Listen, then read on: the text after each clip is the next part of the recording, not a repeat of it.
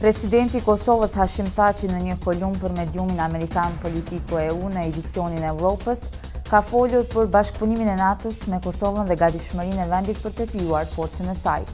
Thaçi ka shkruar se NATO do ta ketë fjalën kryesore për sigurinë në Kosovë edhe pas formimit të ushtrisë. Sipas tij, NATO do të vazhdojë të ketë mandate ekzekutive në çështjet e sigurisë në Kosovë, por njëherësh edhe ne do ta rrisim kontributin tonë drejt këtij qëllimi. Presidenti u bën thirrje të gjitha shteteve anëtare të NATO-s për ta vazhduar financimin dhe trajtimin e Forcës së Sigurisë së Kosovës, me trajtimet e nevojshme për të siguruar që forca e re e sigurisë do të mund ta mbajë Kosovën vend të sigurt. Zëdhënësja e Komisionit Evropian Maja Kocijançiç tha se thirrja për ndërprerje të dialogut të ndërmjetësuar nga Bashkimi Evropian mes Prishtinës dhe Beogradit, përfshirë miratimin e një rezolute në Kuvendin e Kosovës nuk i kontribuon normalizimit të marrëdhënieve. Sipas saj, ajo nuk është në linjë me angazhimin e vazhdueshëm që ka pasur Kosova.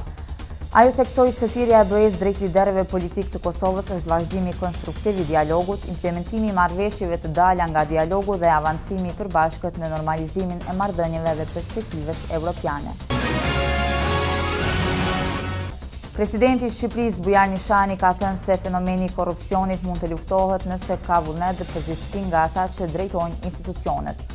Korrupsioni është një problem mjaft serioz, është një fenomen që nuk mund të zhduket, por mund të luftohet nëse ka një vullnet, tha Nishani.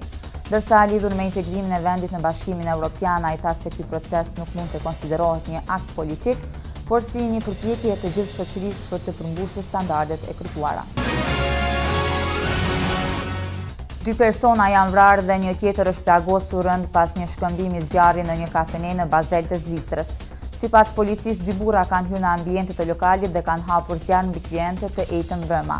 Hetimet janë duke vazhduar, por një oficer i policisë ka thënë se ky është një incident lokal dhe nuk ka asgjë të bëjë me islamikët apo terrorizmin. Autoritetet thanë se janë në kërkim të të dyshuarve të rastit. Ministrja e Arsimit dhe Sporteve në Shqipëri Lindita Nikolla ka pritur kampionin e Evropës në kërcim së gjati Izmir Smajlaj. Në këtë takim Lindita Nikolla vlerësoi atletin 23 vjeçar duke i premtuar edhe mbështetjen e mëtejshme të qeverisë në mënyrë që ai të stërvitet sa më mirë për të synuar objektiva më madhore. Ndërsa përfitimin financiar në bazë të ligjit prej 4 milion lekëve të vjetra apo 3000 eurove, Izmir Smajlaj do ta marrë pas mbërritjes së përgjigjes së analizës së dopingut, e cila ka një afat rreth dy javë pas garës. Për këto dhe të tjera informacione, vizitoni gazetën online parrotlla.net. Mirë pafshim!